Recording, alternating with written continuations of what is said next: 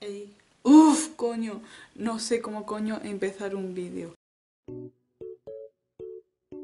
Estos son los peores casos con los que yo me he topado y que me han hecho cambiar y tener que lidiar con estos ataques de ansiedad.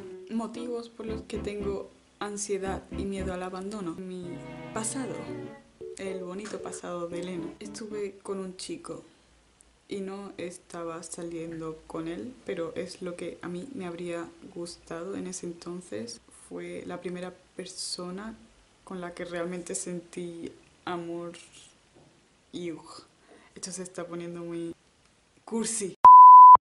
Sí, fue la primera persona con la que yo diría que sentí algo más fuerte. El problema con este chico es que era mayor de edad. Yo tenía 14, 13 años y él tenía novia. Caía bien a todo el mundo, era como Naruto. El chico que cae bien a todo el mundo, que siempre te dice persigue tus sueños y mierdas positivas. Estaba siempre rodeado de niños de 14 años. No veíamos nada malo. Creo ahora que era un gran manipulador y él era muy consciente de ello. Vale, ¿qué pasa con este chico? Que le empecé a gustar según lo que él decía y yo me sentía bastante especial, él me hacía sentir especial. ¡Qué asco! Él me hacía sentir bastante especial y aún así yo me enteraba de cosas. Él se había liado con más menores, con mis amigas y a pesar de que yo creía todo eso. Yo sabía que esas cosas que me decían eran ciertas, yo seguía sintiendo cosas por él. Así que como que me daba igual, sí, de todas formas, en un principio él tenía novia, yo lo sabía. La cosa está en un momento en el que dice que va a plantearse cortar con su novia para estar conmigo. Finalmente le dijo a su novia que estarían ellos dos juntos y a mí que me dieran por culo. ¿Qué pasa? Que habla conmigo y me dice que sigamos viéndonos en secreto. Esto es muy turbio. Ponte en situación en que él tenía 21 años y yo 14. Esto era muy ilegal.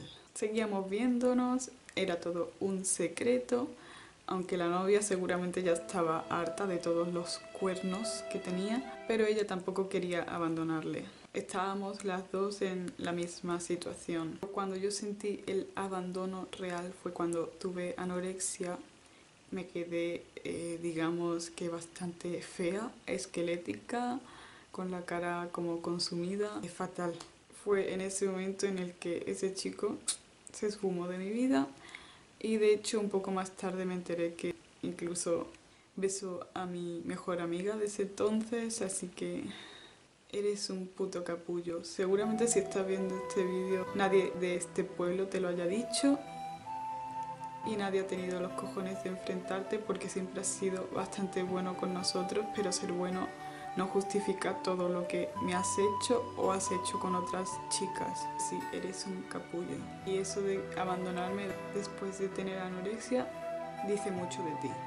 Hubieron otros chicos que me han hecho desarrollar esta desconfianza ya que eran amigos míos.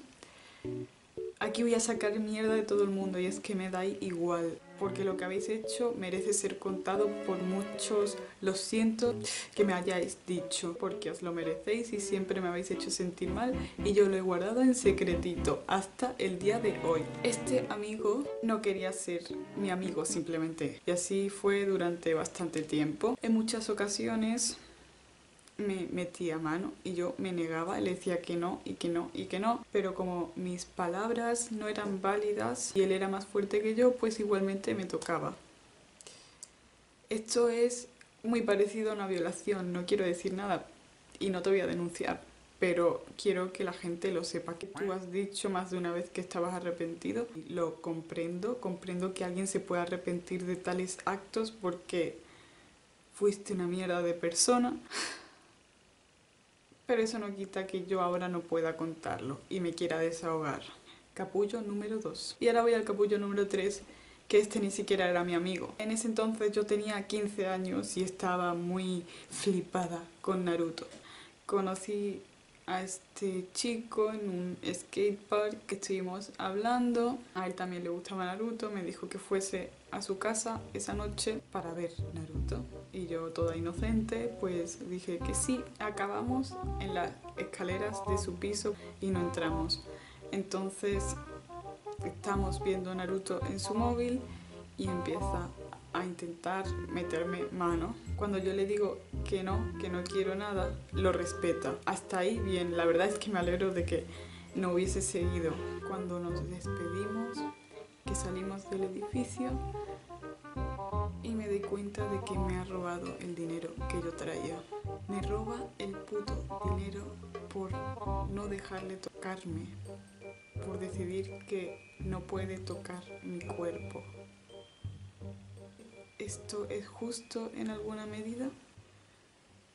La verdad es que cada vez que conozco a alguien siento que me estoy juntando con una mierda de persona y que me va a pasar lo mismo. No puedo ni fiarme de mi novio completamente. El pervertido que me robó mi dinero ya era mayor de edad. Yo tenía 15 años, repito. Me hizo caminar desde el pueblo hasta mi casa porque el dinero que me robó lo iba a utilizar para coger un taxi. Y no digo esto en plan, wow, me hizo caminar, soy una vaga. No, es que vivo en una urbanización muy apartada, era de noche y que son dos kilómetros más o menos andando, que me podría haber pasado cualquier cosa estando sola a esas horas. Perdón, es que esto me indigna un montón. Capullo número 4. Un jefe de una agencia de modelaje. Modelaje entre comillas. En su página ponía que era para crear a chicas youtubers o cosplayers y modelos, modelos normales. Vale, hasta ahí muy bien. Cuando hice la entrevista y tal, me dijo que se dividiría en dos partes, chica de imagen o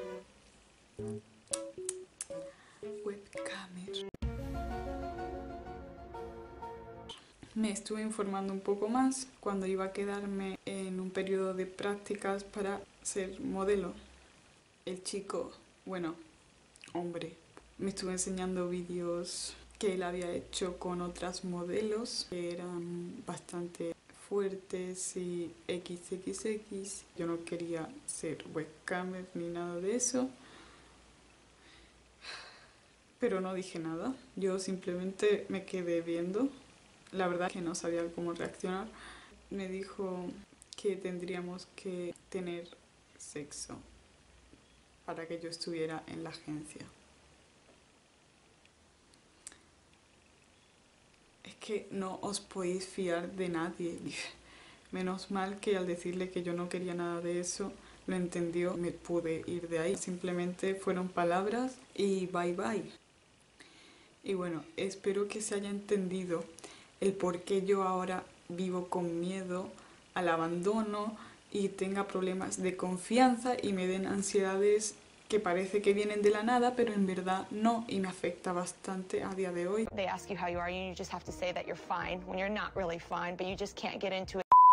He acabado el vídeo, puedes suscribirte a mi canal, seguirme en Instagram, darle like, comentar lo que sea. Si también tienes problemas mentales, ataques de ansiedad, y necesitas ir al psicólogo como yo, comenta aquí abajo.